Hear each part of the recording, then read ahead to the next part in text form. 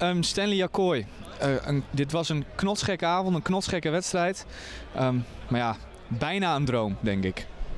Ja, klopt. Het, eh, het is natuurlijk al mooi als je Feyenoord gewoon loodt, hè? ook in eigen huis. Wij weten dat we met onze aanhang eh, tot veel toe in staat zijn.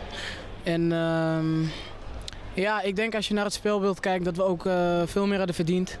Maar ja, ik denk we zijn wat ongelukkig en dat we daardoor de, de wedstrijd alsnog verliezen.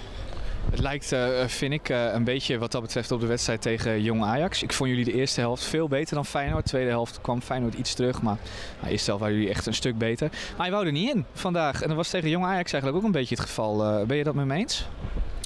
Ehm, ja, in vergelijking met de wedstrijd van Jong Ajax zou, zou het wel een beetje kunnen kloppen. Ja. Het is wel de bal. De laatste fase, zeg maar, waren we misschien dan net niet doortastend genoeg. En ehm, ik denk dat we daardoor eh, niet in de afwerking kwamen.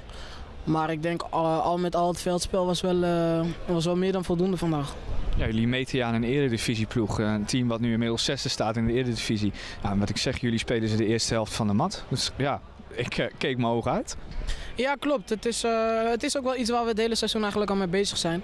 Dus eh, voor ons was het alleen maar mooi dat je, eigenlijk, dat je het kan proberen tegen zo'n ploeg. Want ik denk dat het toch nog de top 3 van Nederland is. En ehm, als je dan kan oefenen tegen zo'n ploeg en dat je ziet dat het zo uitwerkt. Dan denk ik dat je alleen nog tekort doet in het afmaken van de goals. Maar voor de rest ja, kan je niet klagen over deze partij.